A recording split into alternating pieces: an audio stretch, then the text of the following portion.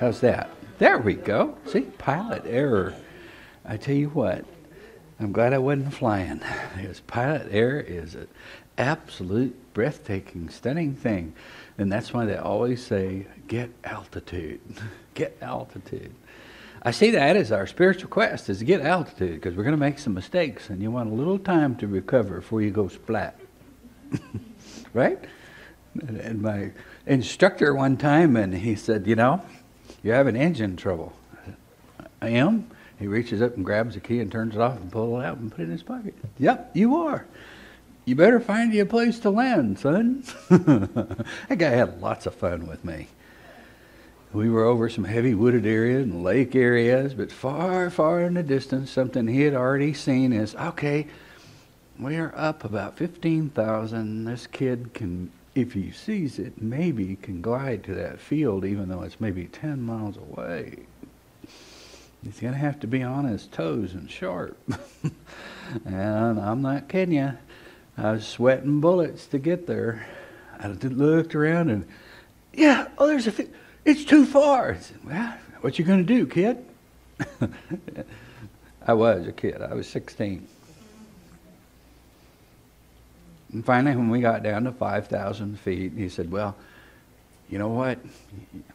All your circuits are working and all that stuff. And he sticks the key back in. And, and, and I reach up to start the engine. He, oh, no, your starter's out. I thought, oh, oh. See, one thing after another. He said, How are you going to start your engine? I had to put it in a dive to start an engine and lose another 2,000 feet. Sometime, are some things that we do in life, we have to put it in a dive to get out of it, to get the spiritual engine going again, to get started to go again, to, to get things going again. But what it amounts to is planning out for the mistakes that we make. We are dumb as a brick. We make some mistakes.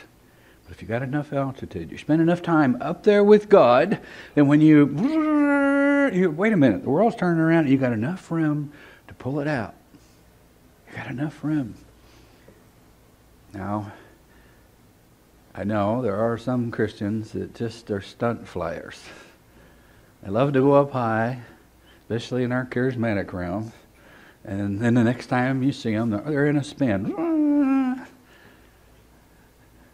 Our pursuit of God is to get higher and higher and higher, going from glory to glory to glory, learning to listen to the spiritual engine which is going to drive us, spiritual engine which is going to give us lift. A spiritual engine we must tend, the spiritual engine we must put the fuel in so that we grow.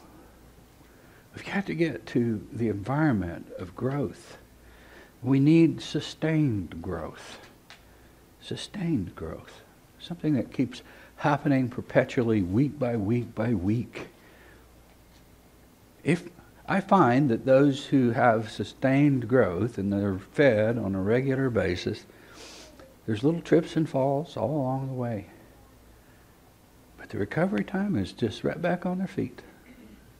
No broken heart, no going through six weeks of depression, no going through that. I'll never get it. No going through that. I'll never be worthy. Well, when were you ever worthy?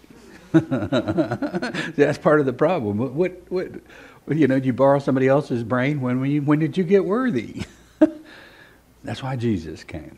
He knew that we'd be making mistakes, and that's why he sent the Holy Spirit, so the Holy Spirit could instruct us and teach us and build us up. You know, build up the muscles and stuff as we've going, been going through Sunday, our, our study on being built up. We're looking in this session in the book of Revelation. Oh my goodness, we've seen so many exciting times. We've seen the world come to an end. We've seen God's creative power make a new heaven and a new earth.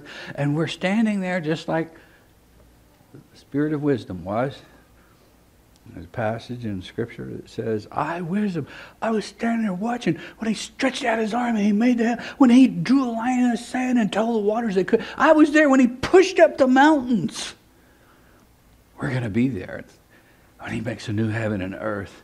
And we're going to be excited and be testifying and talking. Hey, did you see that range over there when he did that? Man, that thing, uh, We are going to be talking about so many mysteries because we get to behold them firsthand of our living God at work. Not only that, but we get to join Him. We get to be a part of Him.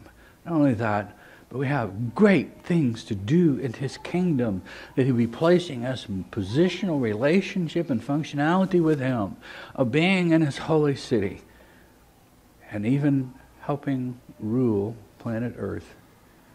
We're going to look at some of those scriptures that are coming our way in this session. But if we're going to see that, our hearts have to be open to be able to receive from our Lord and our Master. I cannot help you. I'm a mere man. But His Word is nothing mere. It is life. It is radiant light. And I'm not kidding you, a donkey, if he could speak his word, would bring revelation enough for us to see God if it was God's words that we heard coming out of his mouth. So, you pray that you can hear from a donkey in this session. Lord, I love you. You are so funny and so sweet. I ask you to open your word up to us and bring light and life from it and bring hope and transforming power from the Holy Spirit. But these are spiritual things, and we are not spiritual people. We do not abide as we should and could in your Spirit. Forgive us of that trespass and help us be mindful that that is your way, that you are a spiritual God and you're trying to get us to become spiritual. Help us latch on to that thought and never stop flying upward to move more in your spirit that we might behold you more. Now come and open our ears. Forgive us of our trespasses. And Lord, use me as your vessel. And let no person hear what I have to say, but only what you have to say. In Jesus' great and profound name I pray. Amen. Amen. We've seen Revelation 19, 20, 21 and 22. It's just a, a sequences of magnificent events of, of Jesus winding up the clock. The great city has been made and it has descended out of the heavens. Everything has already been burned up in a fervent heat. Every enemy of God has been dealt with. Anything that's resistant, every evil has been removed. And there's nothing now that's contaminated in the universe, with the exception of one thing. Anybody know what that is? The pit. The pit, the lake of fire. He said it would burn forever and ever and ever and ever. It's the only thing I can find in Scripture that doesn't pass away. And he says it will be seen forever and ever and ever. And I don't understand the concept of that when he says, Behold, I'm making everything new. I think it's because he wants to make everything new, but leave it as a reminder for the rest of eternity of what men decided to do and where they wanted to go. Don't ask me why. I think it's for our benefit, though, not necessarily his. I think it's for our benefit that we could see that and see what a gracious God. So that for 10 million years, we could, if we see the smoke over there and say, oh my goodness, I could have been there had it not been for him and his intervention in my life. See, we, we got it reversed. We think, well, it's a terrible place. Well, people choose to go there. God did not make that place for us. He did not make it for man. He made it for Satan and for Satan's followers and those who belong to Satan. He made it for Satan. He did not make it for us. Instead, he extended his hand and made us in his image and breathed his breath within us. And we have been fighting and kicking with heel marks all along the way not to follow what his spirit has to say. Two times in the last, I'm going to say probably three weeks, I've had people tell me that they were told by somebody not to mention the Holy Spirit because the Holy Spirit is divisive. He always brings division. And I think, God's not split personality. He's not divided. The division has always come, like when the Pharisees and the Sadducees were there. They were always trying to burn Paul at the stake, saying, You're bringing a division. He wasn't. He was bringing the Spirit. They were the ones that were upset. They were the ones that were causing division because they didn't have the Spirit. They didn't want to follow the Spirit. They didn't want to know the Spirit. They didn't want to hear of the Spirit. Why? Because they lose control. And somebody else is in control, and we just can't have that. So, if you hear someone make the statement, ah, the Holy Spirit of God just brings division, just brings. No, He doesn't. Man's flesh brings that. Man's flesh that's resistant to God and hates the things of God and hates the things of the Spirit. Why? Because it puts a responsibility and burden upon you to become a son of God, a woman of God, a daughter of God, a child of God. It puts the burden upon you. And we like a religion that we have no burdens. We want to go give two turtle dove. Here, this ought to do. My sin's covered. I can do what I want. No, you can't. Your sin's covered by Jesus if you give him your body and make him your Lord and you become his servant. He's willing to die for that. He's not willing to die for an upstart world that spits in his face and goes and does its own thing and says that it's okay and they're still saved. He thinks, by whom? He died, he died for anyone that would accept him as a Messiah, as the king. He died for anyone that would do it his way. And then we have a track record that we've been going through in this book of Revelation of all those that didn't want to do it his way, and none of them made it. None. Not one. Not even somebody partially dressed. They had to walk the walk like he did and talk the talk and learn. He's looking for a family that really wants that. Planet Earth, boy, does it have a bunch of degenerates on it. And God's going to burn it up with the degenerates, deal with his enemies, and create something new and fresh. That's why we are his disciplined learners. We want to be his disciples. I don't want you to be my disciple. I'm, I'm real nervous over that. You say, well, I'm Curtis's disciple, man, I'd, I'd, I'd excommunicate you. no, you're not my disciple. You're a disciple of Jesus. You need to learn to sit at His feet. and You need to learn to hear His voice. And I'm just here to help assist you to learn how to do that and, and to show you those things that causes that to go in default where you can't hear and you can't see and you can't walk on with Him. That's my, that's my only job here. Jesus does not command me. He says, You can surrender and be commanded if you want to and be my bond servant. I don't command you.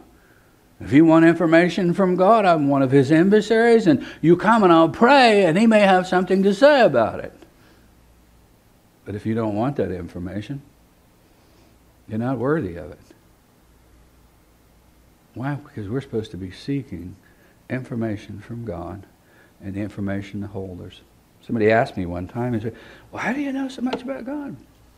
Boy, there's been six or seven men in my life I hemmed up and would not let go until I put them in a lemon squeezer and squeezed everything out of God out of them that I could get until I could do it, until I learned it, until it was in me.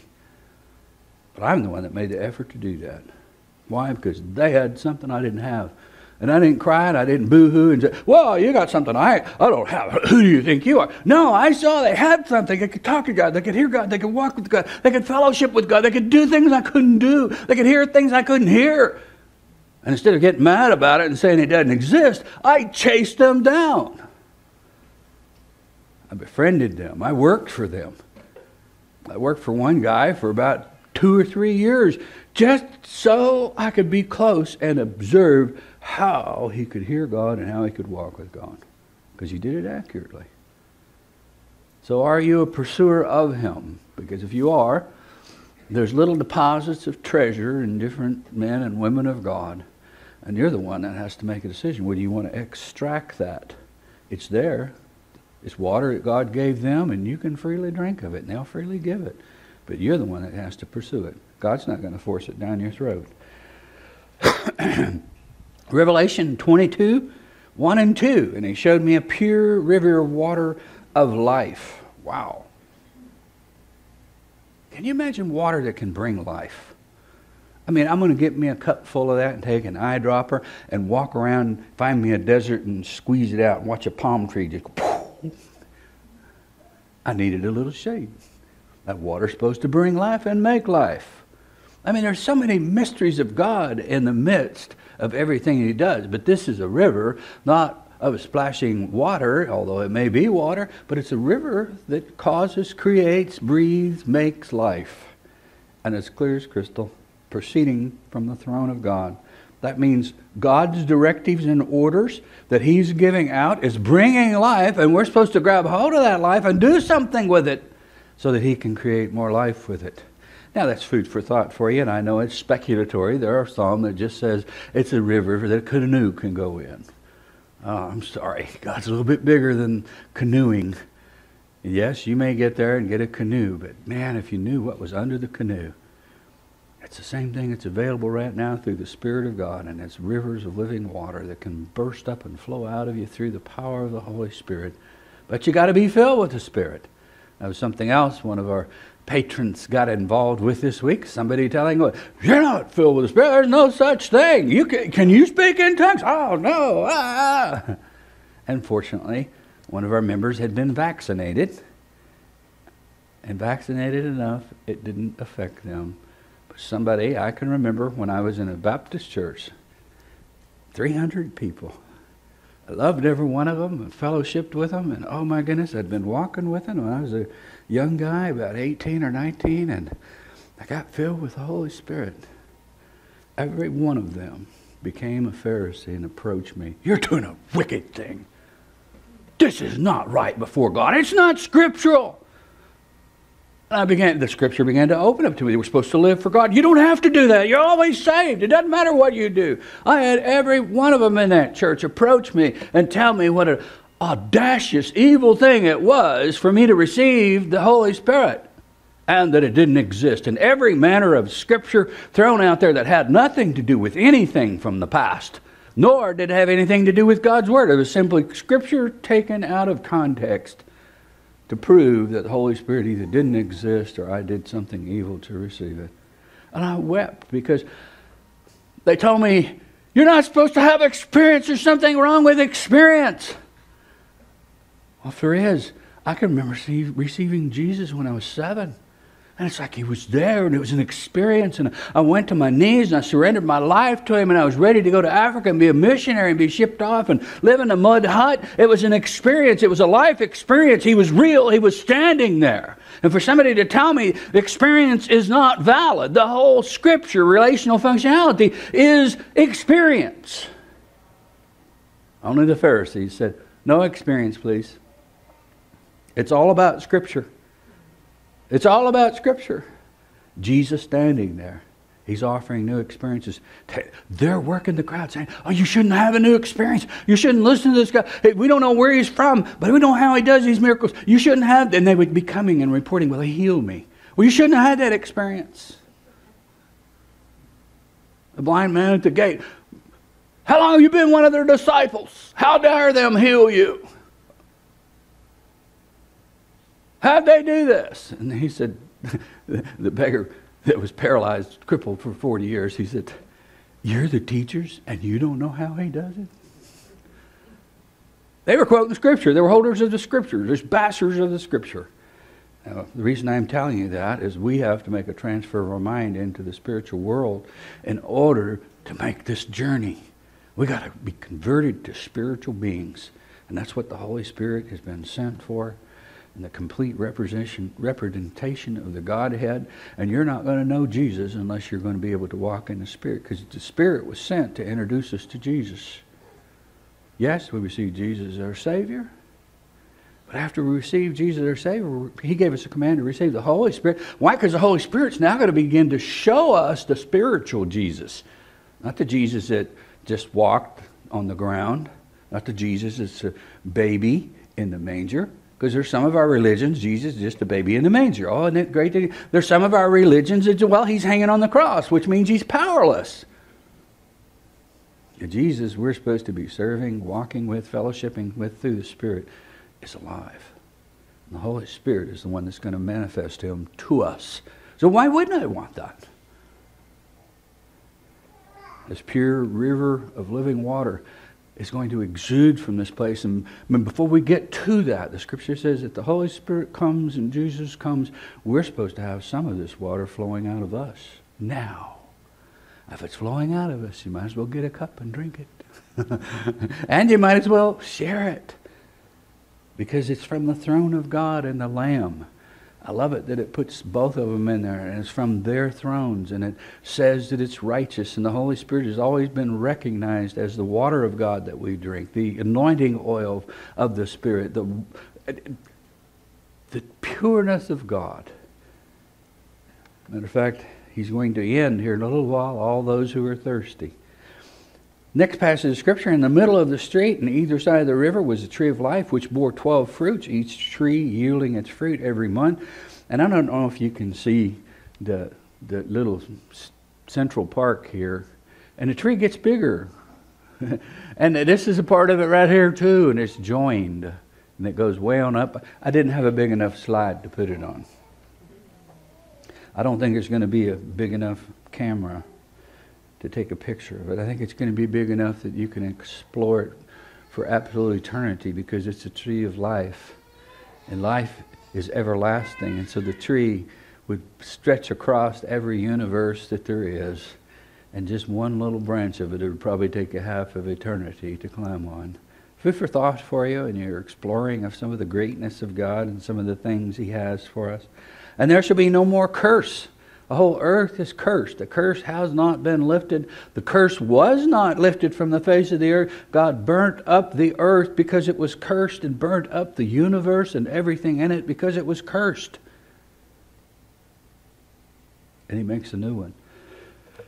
it has no curse. There's no more curse. All that had to be melted away in a fervent heat for the curse to be gone. Because Adam did something and Eve did something. And Satan did something. Satan corrupted the heavens. Adam corrupted the things of the earth. Both were corrupted. Both were corrupted. When there's a there's a mystery statement that has such revelation in it. It says, "Oh, you Lucifer, you who who walked amongst the fiery stones." Wow. What's the fiery stones?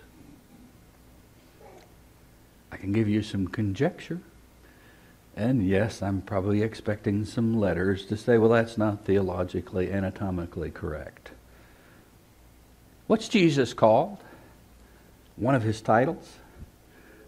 The bright morning star. One of the fiery stones, maybe. And what about when God made all the stars of heaven and he danced them out and pranced them out, and each one he named by name? And what about the angel that's standing in the midst of the sun that we saw in the chapter before this? What's his name? And why is he standing there? And what has he done in times past? And what does he presently do? Powerful enough angel to withstand the gravity and maybe juggle the sun around. And he's there to turn a switch on it so that the polars flip and we lose our heat and we end up with a darkened sun. Ah, scientists are just discovering that's fixing to happen. But what about the rest of the stars? It says that they all declare his glory. Are they some form of angel that's done something? I'm just throwing some things out there for you to think about. Because God makes the statement that there's fiery stones, and Lucifer walked amongst them. And he also makes the statement that Jesus is a bright, shining star and the morning star. And he makes statements about you and I that we are going to become like bright stars and that the angels would be bright stars. Now, I know, to be anatomically correct, we have to say it's just a ball of gas and fire. Well, if it is, what's, what's an angel doing standing in the sun in one of these chapters? There's more to things that are going on out there than we know. We just we got this little bitty ant hill, and we're these little bitty red ants down in the hole. And we march out and grab a little bit of information about God and drag it back into our cave. When there's going to be a universe to explore, There's going to be a new heaven and a new earth and a great God that we finally will become connected with. And there shall be no more curse, but the throne of God and of the Lamb shall be in it, and his servants shall serve him. I found that underlined uh, in my head, his servants. Because all through this, passage after passage, his servants in the book of Revelations, his servants will see him. His servants will be ready for him. His servants will work for him. His servants will carry him along. His servants will be with him. As a matter of fact, Re- when this whole thing started, we were in Revelation chapter 1. Remember the revelation of Jesus Christ? Whose revelation is? It's not John's. It's God the Father revealing things of the end time. You remember the disciples asked Jesus, Well, when will that day be? And he said, You know, only the Father knows that. It's not even for the Son to know. Why? Because God's the executor of this every of everything that's taking place. The revelation of Jesus Christ, which God gave him. So where what's the whole book from? Came from it's coming from Jesus. The whole book's coming from Jesus. The book of prophet it's a book of prophecy from Jesus. Sets it above anything else that anyone else spoken. To show who's he going to show? His servants. This wasn't written to the world, this was written to his servants. And no wonder the world can't receive it, the flesh can't receive it. Many places in Latin American and African countries, this is the first book they teach because it brings reality of God. But yet, in our understanding, oh, it's too difficult. We shouldn't study it. No, hadn't it brought a revelation that Jesus is real and all these things real? Well, it does that to a newborn babe in Christ. And he's going to show his servants things which must shortly take place. And he sent and signified it by his angel to his servant John, who bore witness to the word of God and to the testimony of Jesus Christ. See, John's standing there, Jesus is testifying about this. And John's bearing witness of it. Wouldn't it be cool if you get to heaven and you got to be a witness to something that God was doing? Most of the stories I've shared with you about God's great intervening in my life, I've just been a witness to something that Jesus was doing. And I shared with you the testimony of things he was doing. Every healing that has come forth, come forth from him. All power, all authority was given to him. So every healing and everything that manifests itself is a manifestation of Jesus. And I've only been a witness of the things that he's done. he's a witness to all the things that he saw. Blessed be he who, he who reads and those who hear the words of this prophecy and keep those things which are written in it, for the time is near hears and keeps, for because time is near. Jesus is always near. He was near then. They were near an exit as far as physical death was concerned. John was when this was written. But this book was specifically written for the last days, which many do not believe in the last days, nor do they believe in the judgments of God, nor do they believe these things will happen. Luke 12:35. Jesus speaking, "Let your waist be girded and your lamps burning, and you yourselves be like men who wait for their master, when he will return from the wedding, that when he comes and knocks, they may open to him immediately." Not five minutes from now, let me, not let me clean the house, not let me get ready immediately. Jesus, when he knocks, He's expecting you to open the door in your underwear if necessary. Get the door open. Let him in. Blessed are those servants. Now he's gone to servants because he wants us to recognize he's in charge of the house. He's the master that comes. And when he comes, if you're his servant, when he comes, if he finds you watching, what, what, is, what are you going to be watching for? You're going to be watching for him.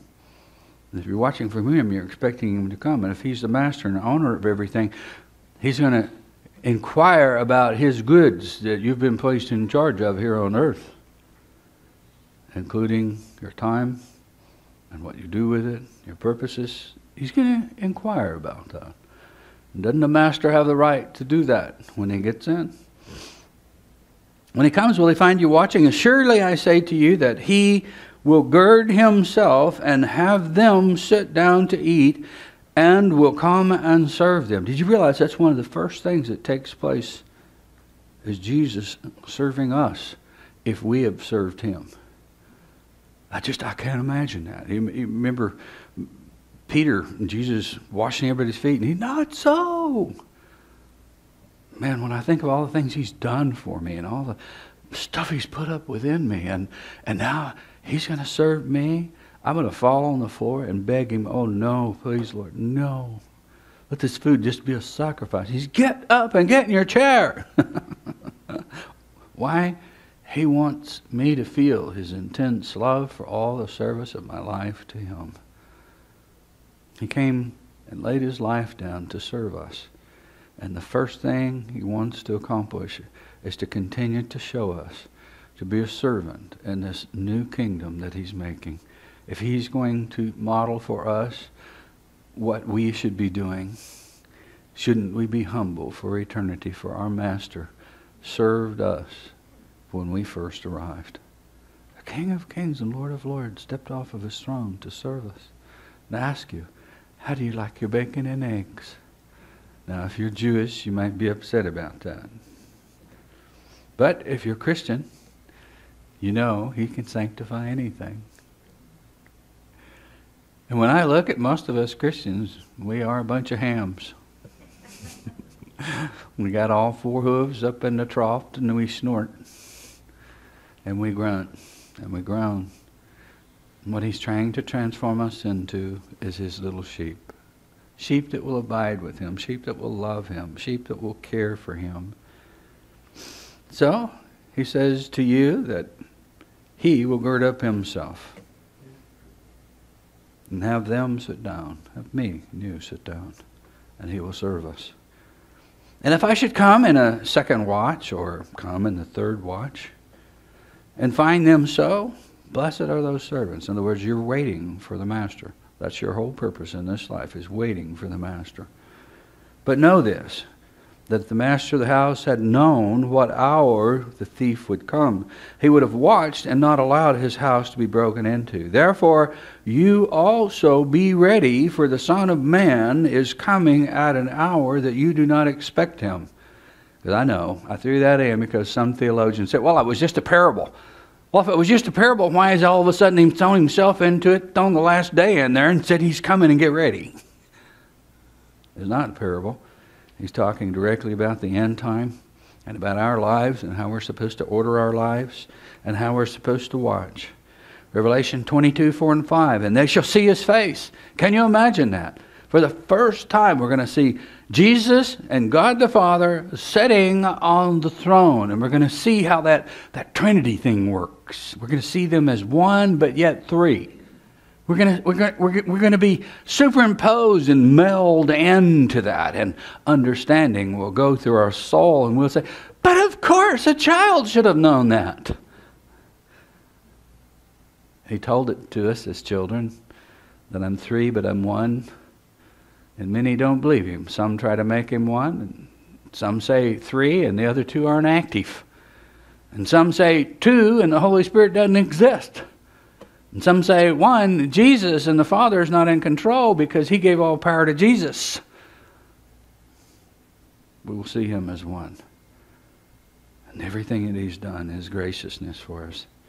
There should be no night there. They need no lamp nor light of the sun, for the Lord God gives them light. Eh, why the problem with that sentence structure? in the Greek. It can be seen that if I had a candle and I handed you the candle, I just gave you light. I gave it to you. You're now carrying the light. Most people don't even think about that. They just think about him being radiant, sitting on his throne, and ah, I have to get out my suntan oil and sunglasses, and wow, this is cool. He's bright. He's he's putting light on everything. It doesn't say he said he's giving you light. That's not to say he's not going to light up the world. He is. Not going to light up the universe. He is. He's going to light up everything. And his city is high enough above the earth that the earth still turns and has seasons. It has seasons. The new earth has seasons, is what Scripture says. Twelve crops from the tree of life in their seasons. Matter of fact, God made that one of His principles that there would be seasons. That means there's going to be there's going to be seasons of spiritual things throughout eternity, a constant change of newness and freshness. And His light, with the earth turning, His servants are going to be in the city serving it. but yet there's still kings down on the earth. Now, which do you want to be? A king on the earth or live on the earth? have a plantation on the earth? Or do you want to be serving the great king in his city, looking down at the earth? You know, I've spent enough time on earth. I'd like to spend the rest of eternity in his great city, looking upon him, serving him, being a part with him. For the Lord light, Lord gives them light, and they shall reign forever. Who's they? the whole subject is they shall see his face. That's his servants. They'll shall you see his face. They shall have his name written on their foreheads. They need no lamp, and they shall reign forever with him. God has some things for us to do. You remember, Adam was given charge over the earth and he was supposed to reign and he failed. God's intent is that man will still rule over earth, the new earth. He said, I'm going to make it new and fresh for you. You're not going to get a cursed one that you got to rule over. I can't imagine that. I can tell you this I had a dream one time and lasted for I guess it's still ongoing because I still get new segments for, I don't know, 26 years now. I spent in that dream, in the dream itself, and the different segments, I made my way up into this valley called the Valley of Mysteries and wandered around and saw all the miracles and all the things like you do in charismatic land or Pentecostal land. The lower valleys were discoveries of things that were written on rocks.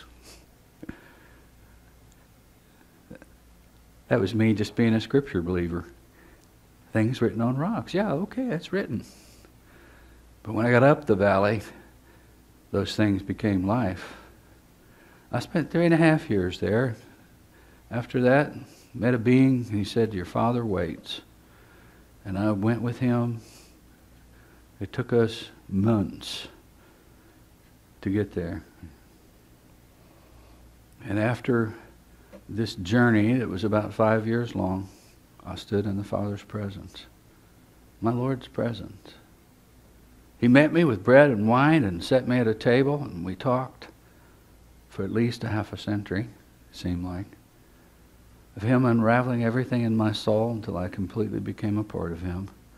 And he motioned his hand across the way, and there was this portico. That's we have a pergola out back. Well, he has a round pergola, beautiful couch and coffee table you can put your feet on, and servants to bring you drinks. And he said, "Let's sit for a while." I sat with him. It seemed like for another hundred years. Till stars in my were in my eyes, and nothing but joy was in my soul. And after spending much time with him, because occasionally he would get up and somebody would come in injured, and one guy had on the sword and the shield and he had an arrow through him. And Lord said, Hang on just a second. He went over and moved the arrow, took this into this fiery place where he reworked the shield and gave the guy instructions. Here's how you avoid taking an arrow for the enemy. Then he came back. I could tell you a thousand things that went on during that dream. I burst into tears when he looked at me and he said, Curtis, I know you've worked hard in getting here, and I love being with you. But will you go back for your brother? I burst into tears. I wept and I wept and I wept because he wants me to go back. I don't want to leave your presence. I have, I, I, I've yielded everything. I've given up everything. I, how can I live without you? I've been in your presence. And I remember in tears hanging my head down and just bawling and bawling and bawling and saying, Yes, Lord, I will go. I will go. So I, I don't look at this reigning thing as something spectacular. I would rather be his servant and bring him his afternoon tea if he drinks that then I would be in power of something. Because if I'm given an assignment, it takes time and effort, and it, it takes time. And he said, Now, I'll be with you, but it's not the same being with him as I was in the dream. It's not the same. It is satisfying, it is pleasing, it is joyful. But there is nothing as joyful as being in his presence and seeing his face and communing with him. Nothing. I know there's a lot of people chasing that are spiritual power mongers. I let you have it. I'd rather sit with my Father. But the fact still remains that He expects us to do something for Him on planet Earth and in His city. He expects that and He assigns that. And we will joyfully take those assignments. But I would suspect if you love Him so much, He's going to give you an assignment closer to Him so He can fill your desire of love that you have for Him. That's why we are passionate about learning about not just who He is, but how do we walk with Him? How do we hear Him? How do we fall head over heels in love with Him? How, how, can we, how can it be the passion of our life? You remember, this book started off to one of the churches is that you've lost your first love.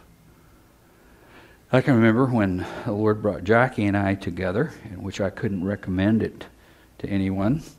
Although God's ways are best, if somebody come to me and said, "Well, God said I'm supposed to marry this person," okay, we got a plan for you. I didn't know Jackie, and the Lord had given me a directive to marry this girl. I resisted it with everything that was within me, and the Lord told her to marry me. A few weeks later, we were obedient to our Lord because we were that close to Him that we could follow Him. We had learned to abide with Him when we got married, we went to Arkansas. We okay, we, we obeyed you, Lord. What what do we do? We you you're the one that brought us together. I mean, there was miracle after miracle after miracle, and it wasn't one of those phony miracles or made up miracles or something that happened here and this, and because of the two coincidences, that was God. Now this was real, miraculous stuff. We went to a church there in Eureka Springs, and we just looked at each other. We don't know what to do.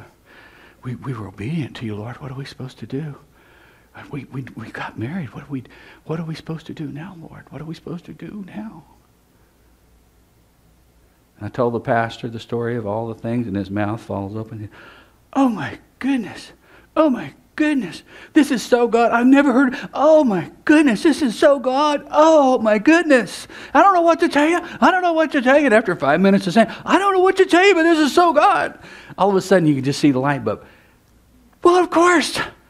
Of course, you're supposed to go fall in love. Jesus gives you an invitation, and he says, Come with me, my bride. And you don't know him, you know something about him. Haven't been with him, but you know something about him.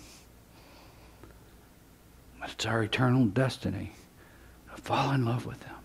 It's our purpose. It should be head over heels.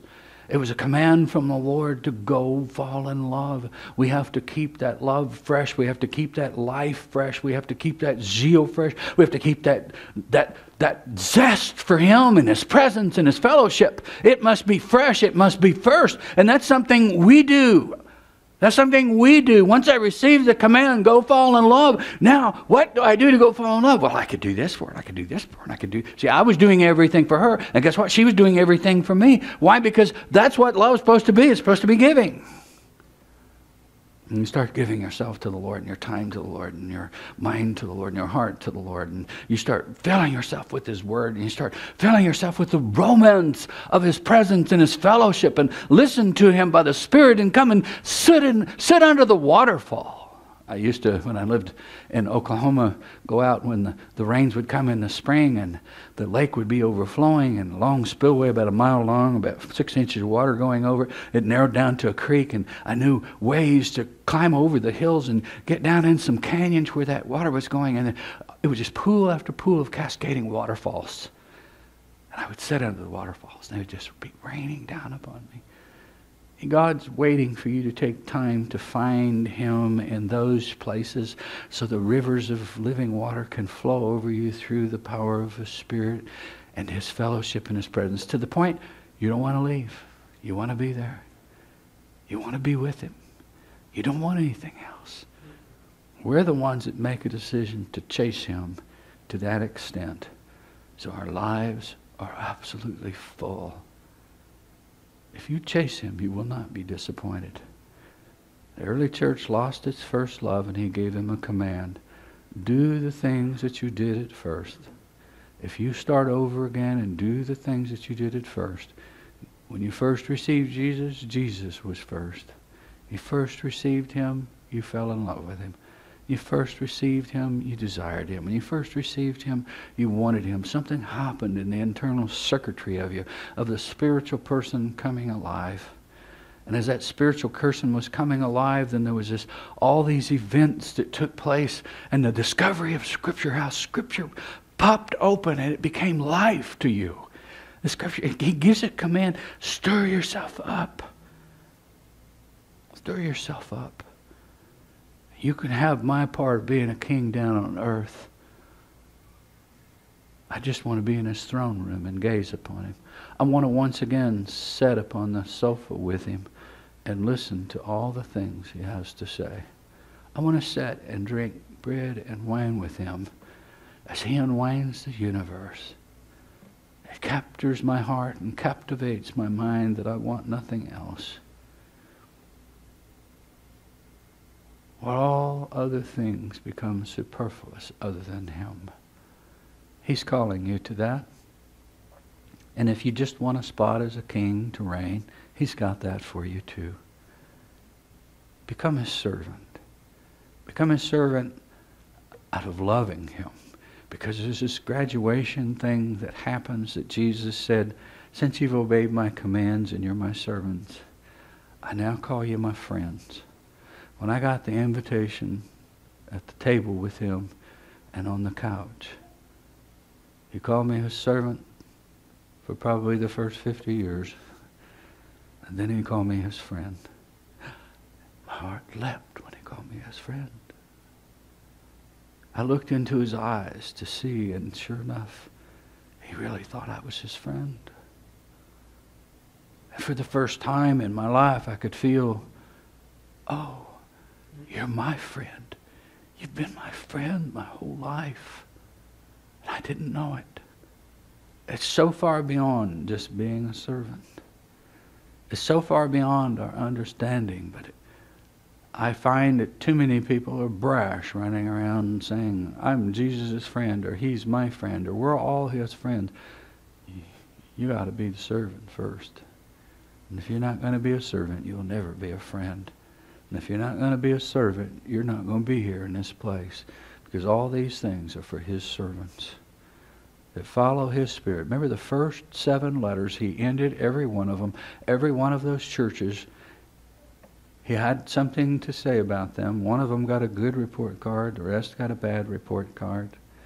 The ones that got a bad report card, he started off this in the Greek. How do I express it? I know we catch the part about I've got feet that are brass and my eyes are fire, but there's a Greek word that says, I'm standing here. Why can't you see me anymore? It starts off every one of those letters. And then he gives a description of what they couldn't see anymore. And then he finishes that and says, Okay, I've, gi- I've given you all this and I've told you this and I sent an angel to tell you And if you can still hear in the Holy Spirit, then listen to what the Spirit has to say.